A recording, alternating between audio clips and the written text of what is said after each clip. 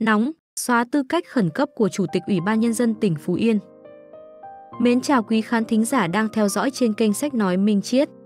Quý vị thân mến, Tổng bí thư Nguyễn Phú Trọng từng nói, vừa qua, số cán bộ vi phạm bị phát hiện xử lý nhiều hơn, không còn tình trạng nhẹ trên, nặng dưới, hạ cánh an toàn như trước nữa. Số vụ án tham nhũng được phát hiện, khởi tố mới tăng cao và cán bộ, cả đương chức cả nghỉ hưu bị phát hiện xử lý nhiều hơn. Phòng, chống tham nhũng trở thành xu thế không làm không được, được dư luận và nhân dân rất đồng tình. Chính vì vậy, mới đây, 26 phần 5, Thủ tướng Chính phủ đã thi hành kỷ luật bằng hình thức xóa tư cách chức vụ Chủ tịch Ủy ban Nhân dân tỉnh Phú Yên nhiệm kỳ 2011 đến 2016 đối với ông Phạm Đình Cự. Phó Thủ tướng Trần Lưu Quang đã ký quyết định của Thủ tướng Chính phủ về việc thi hành kỷ luật đối với ông Phạm Đình Cự, nguyên Chủ tịch Ủy ban Nhân dân tỉnh Phú Yên. Cụ thể, Thủ tướng Chính phủ đã quyết định thi hành kỷ luật bằng hình thức xóa tư cách chức vụ Chủ tịch Ủy ban Nhân dân tỉnh Phú Yên nhiệm kỳ 2011-2016 đối với ông Phạm Đình Cự do đã có những vi phạm, khuyết điểm trong công tác và Ban Bí thư đã thi hành kỷ luật về Đảng. Trước đó, tại kỳ họp thứ 37, Ủy ban Kiểm tra Trung ương đề nghị Ban Bí thư xem xét, thi hành kỷ luật đối với ông Phạm Đình Cự. Theo Ủy ban Kiểm tra Trung ương, ông Phạm Đình Cự, nguyên Phó Bí thư tỉnh ủy, Bí thư Ban Cán sự Đảng, Chủ tịch Ủy ban Nhân dân tỉnh Phú Yên đã suy thoái tư tưởng chính trị, đạo đức, lối sống. Ông Cự còn vi phạm quy định về những điều đảng viên không được làm và trách nhiệm nêu gương, vi phạm quy định của Đảng, pháp luật của nhà nước trong thực hiện chức trách, nhiệm vụ được giao. Những vi phạm trên đã gây hậu quả rất nghiêm trọng, dư luận bức xúc, ảnh hưởng xấu đến uy tín của tổ chức đảng và cơ quan quản lý nhà nước địa phương. Sau đó, đến 9 trên 4, Ban Bí thư đã ra quyết định thi hành kỷ luật bằng hình thức khai trừ ra khỏi đảng đối với ông Phạm Đình Cự. 11 tháng vừa qua, Viện Kiểm sát Nhân dân tỉnh Phú Yên đã ban hành cáo trạng truy tố ông Phạm Đình Cự, cựu Chủ tịch Ủy ban Nhân dân tỉnh Phú Yên và ông Đỗ Duy Vinh,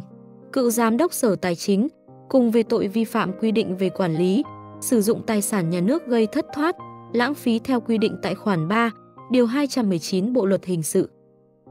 Theo cáo trạng, Ủy ban Nhân dân tỉnh Phú Yên có quyết định giao 1.183 mét đất lô ô, phố A2, đường Hùng Vương, thành phố Tuy Hòa cho công ty cổ phần Fifaco thông qua đấu giá.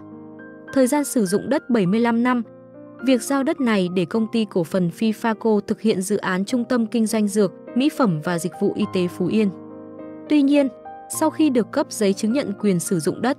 công ty cổ phần Fifaco không thực hiện dự án trên theo cam kết mà đem thế chấp vay vốn tại ngân hàng, góp vốn vào công ty cổ phần xuất nhập khẩu dược Phú Yên. Khi đó, ông Phạm Đình Cự và Đỗ Duy Vinh biết công ty cổ phần Fifaco không thực hiện dự án, thuộc trường hợp phải thu hồi đất, nhưng vẫn làm các thủ tục cho doanh nghiệp này chuyển nhượng quyền sử dụng diện tích đất không đúng quy định cho một ngân hàng, gây thất thoát tài sản nhà nước hơn 10 tỷ đồng.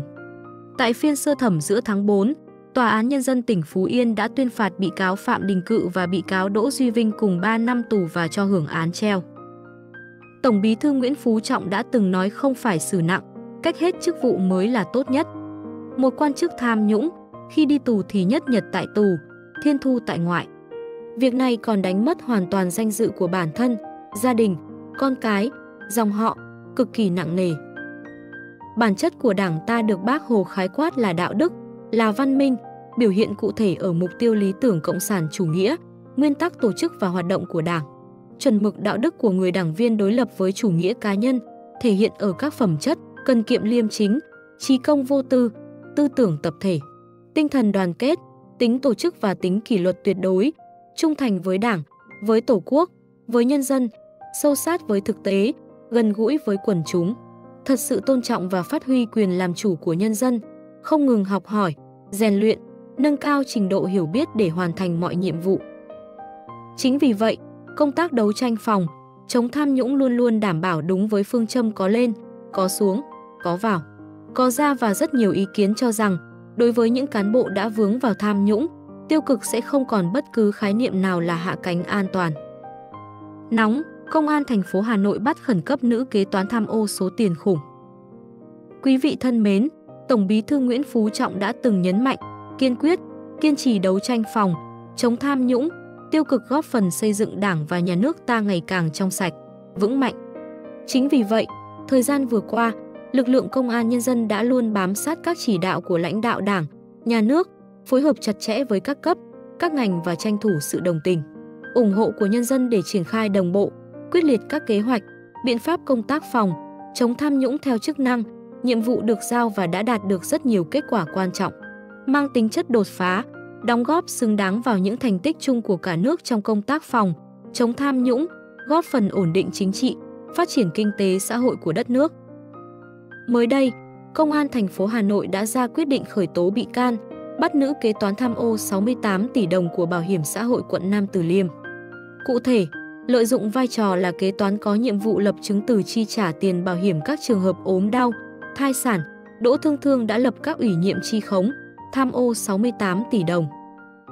Ngày 24 tháng 5, cơ quan cảnh sát điều tra công an thành phố Hà Nội đã ra quyết định khởi tố bị can, lệnh bắt tạm giam đối với Đỗ Thương Thương, sinh năm 1990, trú ở phường Phú Diễn, quận Bắc Từ Liêm, thành phố Hà Nội về tội tham ô tài sản.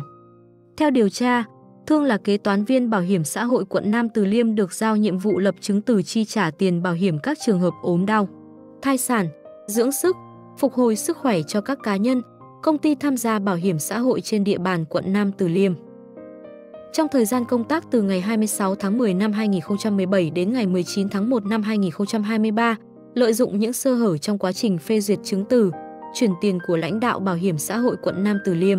đối tượng đã lập các ủy nhiệm chi khống trên hệ thống phần mềm kế toán tập trung của Bảo hiểm xã hội, thay đổi thông tin người thụ hưởng trên bảng kê chuyển tiền gửi ngân hàng.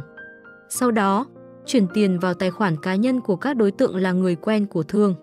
Sau khi người quen nhận được tiền, Thương đã yêu cầu chuyển tiền vào các tài khoản cá nhân của Thương để chiếm đoạt rồi sử dụng vào mục đích cá nhân hết, không có khả năng hoàn trả. Tổng số tiền đối tượng đã chiếm đoạt của Bảo hiểm xã hội quận Nam Từ Liêm ban đầu xác định là hơn 68 tỷ đồng. Đến 26 trên 4, lực lượng công an thành phố Hà Nội đã bắt giữ được Thương khi đối tượng đang lẩn trốn tại Bình Dương. Vụ án đang được tiếp tục điều tra, xử lý theo quy định của pháp luật. Vạch trần sự thật những sai phạm khiến Bộ trưởng Bộ Xây dựng Nguyễn Thanh Nghị bị kỷ luật, con trai nguyên Thủ tướng Chính phủ Nguyễn Tấn Dũng. Quý vị thân mến, ông Nguyễn Thanh Nghị, sinh 1976, là một chính khách Việt Nam. Ông hiện là Ủy viên Ban chấp hành Trung ương Đảng Cộng sản Việt Nam khóa 13, Bộ trưởng Bộ Xây dựng. Ông từng làm bí thư tỉnh ủy Kiên Giang nhiệm kỳ 2015 đến 2020 và là bí thư tỉnh ủy trẻ nhất nước ở thời điểm được bổ nhiệm 2015. Ông Nguyễn Thanh Nghị là con trai của ông Nguyễn Tấn Dũng, nguyên Thủ tướng Chính phủ nước Cộng hòa xã hội chủ nghĩa Việt Nam trong 3 nhiệm kỳ liên tiếp. Trong nhiệm kỳ làm Thủ tướng Chính phủ của ông Nguyễn Tấn Dũng, ngoài việc đưa nền kinh tế đất nước được hội nhập với các nước trong khu vực, thu hút được đầu tư nước ngoài, tiếp cận được với nguồn vốn ODA. Trong thời kỳ ông làm Thủ tướng Chính phủ, đây cũng là giai đoạn mà tham nhũng, tiêu cực được đẩy lên đến đỉnh điểm, với những đại án lớn như cố ý làm trái quy định của pháp luật tại tập đoàn Vinasin. Vụ án Trịnh Xuân Thanh hay Đinh La Thăng có liên quan đến Tập đoàn Dầu khí Việt Nam hay Bộ Tài nguyên và Môi trường do có vi phạm trong sự cố môi trường biển Formosa không bị xử lý. Nhưng đến khi Tổng Bí Thư lên làm trưởng ban chỉ đạo phòng, chống tham nhũng, tiêu cực thì những đại án này mới được đưa ra xét xử một cách công khai. Minh bạch và có rất nhiều các dự án trọng điểm của quốc gia làm chậm tiến độ, đội vốn, gây nhức nhối trong một thời gian dài như dự án đường sắt đô thị tại thành phố Hà Nội gồm các tuyến Nhường ga Hà Nội, Cát Linh Hà Đông, Yên Viên Ngọc Hồi đã đội vốn so với phê duyệt ban đầu lên đến 28.886 tỷ đồng.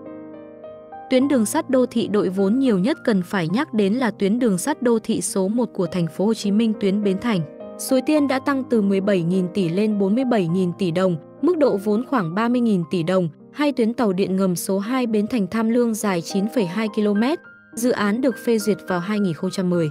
So với mức đầu tư ban đầu khoảng 26.100 tỷ đồng, tuy nhiên, đến nay ước tính mức đầu tư của dự án này vào khoảng 47.000 tỷ đồng, đội vốn 21.000 tỷ đồng.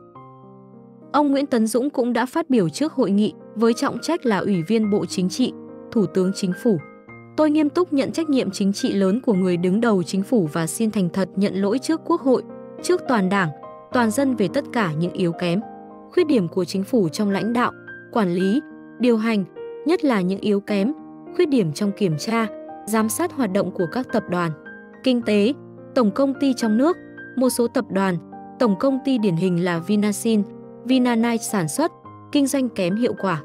Có nhiều sai phạm gây tổn thất và hậu quả nghiêm trọng, vì nhiều mặt ảnh hưởng lớn đến uy tín và vai trò của kinh tế nhà nước. Và tại thời điểm đó thì chưa có văn hóa từ chức như bây giờ, nên chúng ta cần thấy rằng văn hóa từ chức theo quy định số 41 QĐTVK ngày 3 tháng 11 năm 2021 của Bộ Chính trị về việc miễn nhiệm. Từ chức đối với cán bộ là một trong những quy định hết sức đúng đắn, tạo ra bước đột phá mới, siết chặt kỷ luật, kỳ cương trong xử lý cán bộ, lãnh đạo, quản lý các cấp. Ông Nguyễn Thanh Nghị còn có em trai là Nguyễn Minh Chiết, hiện nay đang giữ chức vụ Bí thư Trung ương Đoàn, Chủ tịch Trung ương Hội Sinh viên Việt Nam.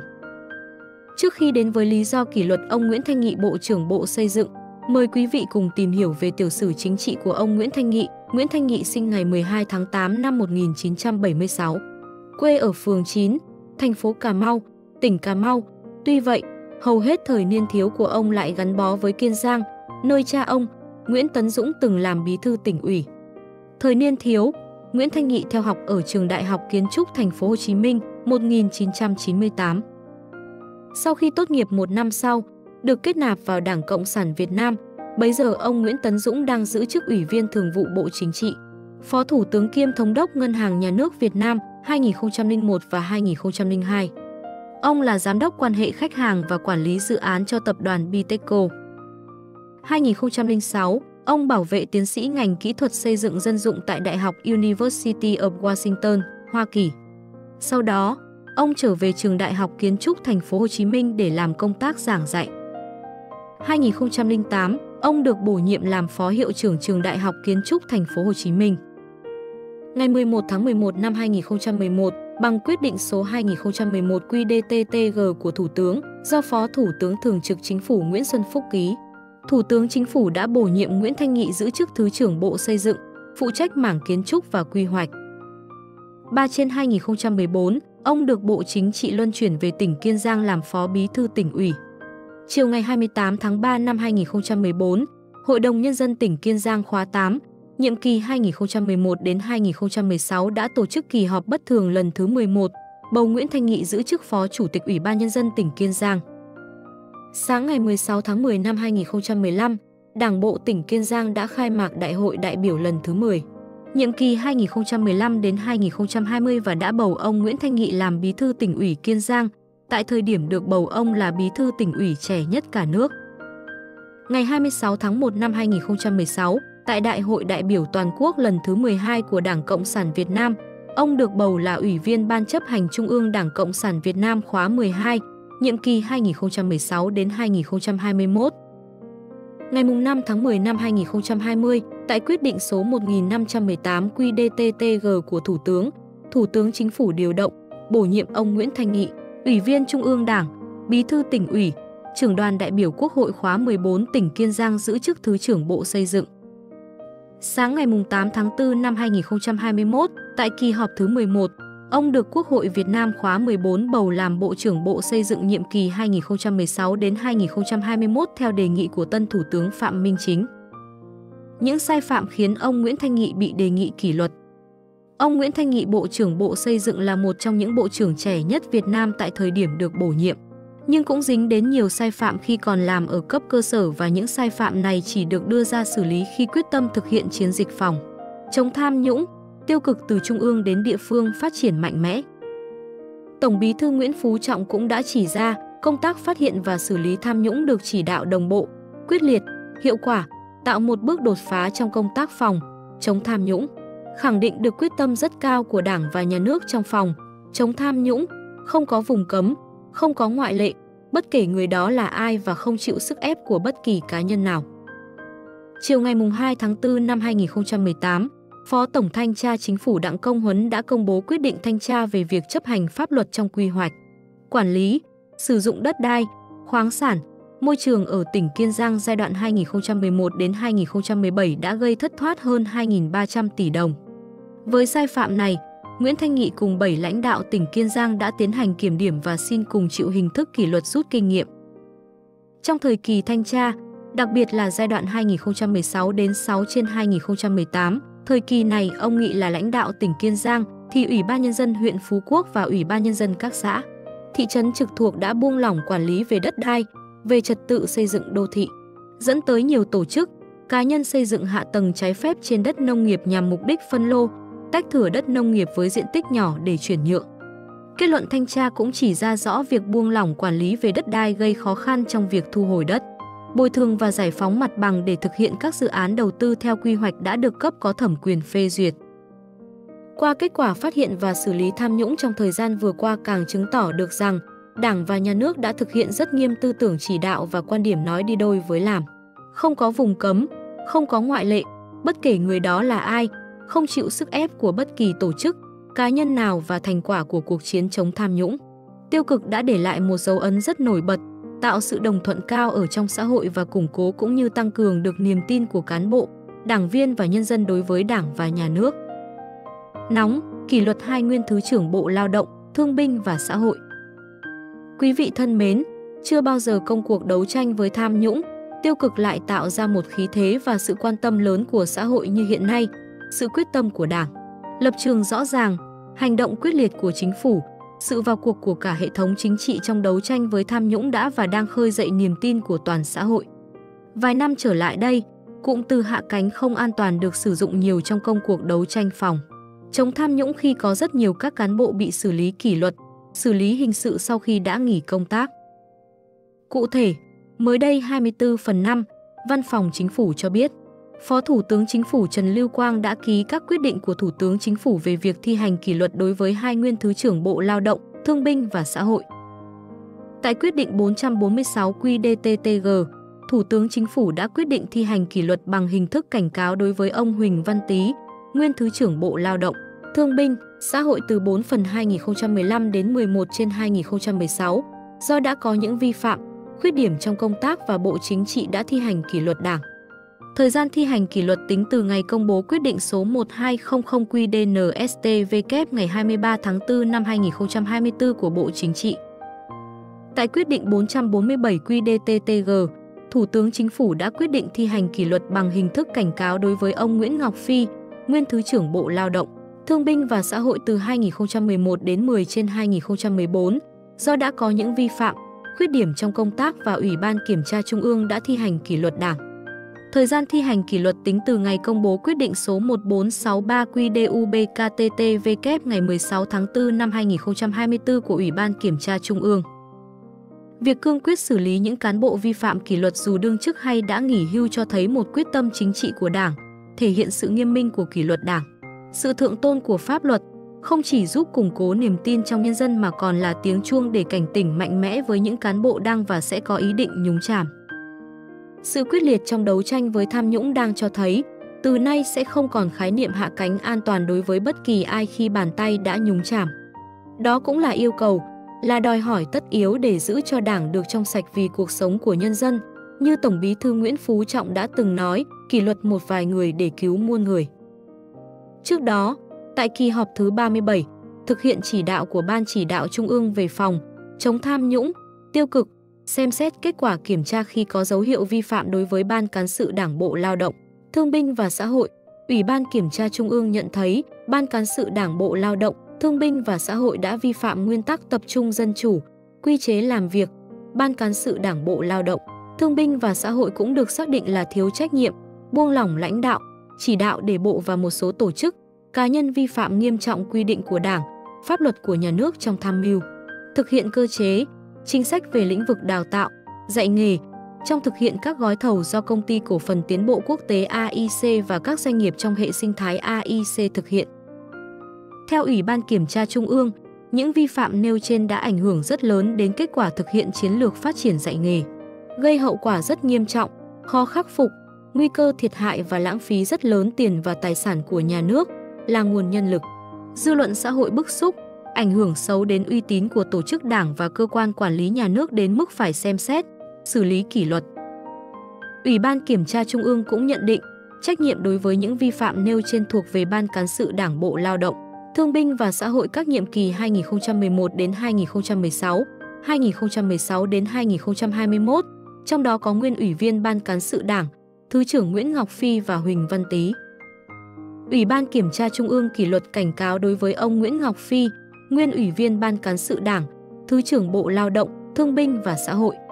Đồng thời, đề nghị Bộ Chính trị, Ban Bí thư xem xét, thi hành kỷ luật Ban Cán sự Đảng Bộ Lao động, Thương binh và Xã hội các nhiệm kỳ 2011 đến 2016, 2016 đến 2021 và xem xét, thi hành kỷ luật với một số lãnh đạo, nguyên lãnh đạo Bộ Lao động, Thương binh và Xã hội, trong đó ông Huỳnh Văn Tý, nguyên Ủy viên Ban chấp hành Trung ương Đảng Ủy viên Ban Cán sự Đảng, Thứ trưởng Bộ Lao động, Thương binh và Xã hội. Ngày 19 tháng 4 năm 2024, tại trụ sở Trung ương Đảng, Bộ Chính trị và Ban Bí thư đã xem xét, thi hành kỷ luật Ban Cán sự Đảng Bộ Lao động, Thương binh và Xã hội và các cá nhân có liên quan. Trong đó, Bộ Chính trị quyết định thi hành kỷ luật cảnh cáo đối với ông Huỳnh Văn Tý. Nóng, Bộ Công an truy tìm cựu CEO Bamboo Đặng Tất Thắng. Mến chào quý khán thính giả đang theo dõi trên kênh Sách Nói Minh Chiết. Quý vị thân mến, Tổng bí thư Nguyễn Phú Trọng với tư cách là người đứng đầu Đảng Cộng sản Việt Nam đã nhìn ra mối nguy cơ của đại dịch tham nhũng. Bằng tất cả dũng khí và mưu lược của một sĩ phu Bắc Hà đã phất lên ngọn cờ quyết tâm tiêu diệt bằng được sự tham nhũng, lộng quyền. Ông trở thành một trong những người đốt lò rất vĩ đại đã nhóm lên chiếc lò được cháy bằng ngọn lửa của lương tâm và công lý để thiêu hủy bằng được cơn đại dịch tham nhũng và lạm quyền và kêu gọi toàn dân đoàn kết chống chống giặc nội xâm. Mới đây, Cơ quan An ninh Điều tra Bộ Công an vừa phát đi thông báo truy tìm ông Đặng Tất Thắng, cựu chủ tịch tập đoàn FLC và tổng giám đốc Bamboo Airways để xác minh đơn tố giác của Ngân hàng Thương mại Cổ phần Sài Gòn Thương Tín, Ngân hàng Sacombank. Cụ thể, Cơ quan An ninh Điều tra A09, Bộ Công an vừa phát đi thông báo đang kiểm tra. Xác minh tin báo của ngân hàng Sacombank về dấu hiệu tội phạm do Đặng Tất Thắng đã lợi dụng quyền tự do dân chủ xâm phạm đến quyền và lợi ích hợp pháp của tổ chức, cá nhân. Theo quyết định phân công của Phó Thủ trưởng Cơ quan điều tra về giải quyết nguồn tin tội phạm, bước đầu xác minh, A09 xác định ông Đặng Tất Thắng, sinh ngày 29 tháng 10 năm 1981 tại xã Quang Trung, huyện Phú Xuyên, thành phố Hà Nội, thường trú tại số 82 Thợ Nhuộm, phường Trần Hưng Đạo, quận Hoàn Kiếm, thành phố Hà Nội, chỗ ở, trung cư FLC số 265 Cầu Giấy, phường Dịch Vọng, quận Cầu Giấy, thành phố Hà Nội. A09 xác định ông Đặng Tất Thắng là người bị tố giác, hiện không rõ đang ở đâu nên cần tổ chức truy tìm để phục vụ kiểm tra và xác minh vụ việc. A09 đề nghị Văn phòng Cơ quan Cảnh sát điều tra Bộ Công an, Cục Hồ sơ nghiệp vụ, Cục Quản lý xuất nhập cảnh và Công an các phường Trần Hưng Đạo, Dịch vọng phối hợp cùng truy tìm. Chúng tôi và cả quý vị hãy cùng chung tay với Đảng và Nhà nước trong công tác phòng, chống tham nhũng, tiêu cực và cùng nêu cao tinh thần này cùng chung sức vào cuộc chiến chống tham nhũng đầy cam go và khó khăn này, như lời bác Hồ từng chỉ dạy, đoàn kết, đoàn kết, đại đoàn kết, thành công, thành công, đại thành công. Chính vì vậy, nên khi bất cứ công dân nào thấy ông Đặng Tất Thắng đề nghị báo ngay cho A09 theo địa chỉ 254 Nguyễn Trãi, phường Nguyễn Cư Trinh, quận 1, thành phố Hồ Chí Minh hoặc qua số điện thoại 0693.33.86068. Trước đó, trên Facebook cá nhân Thắng Đặng có tích xanh, ông Đặng Tất Thắng cho biết, ông Dương Công Minh, Chủ tịch Ngân hàng Sacombank, bị cấm xuất cảnh do liên quan đến vụ Vạn Thịnh Phát. Trả lời câu hỏi này, Trung tướng Tô Ân Sô, người phát ngôn Bộ Công an, cho biết hành vi thông tin sai sự thật sẽ được điều chỉnh bởi luật an ninh mạng, luật hình sự, luật dân sự và các quy định khác có liên quan trên tinh thần tất cả những ai vi phạm pháp luật đều sẽ bị xử lý bằng pháp luật, không có vùng cấm, không có ngoại lệ. Bài học rút ra là phải xử lý sớm thông tin sai sự thật, thông tin xấu độc. Các cơ quan, tổ chức cần sớm có thông tin phản bác đồng thời phối hợp với các đơn vị chức năng để xử lý theo quy định của pháp luật. Tăng cường tuyên truyền, hướng dẫn người dân, Trung tướng Tô Ân Sô cho biết.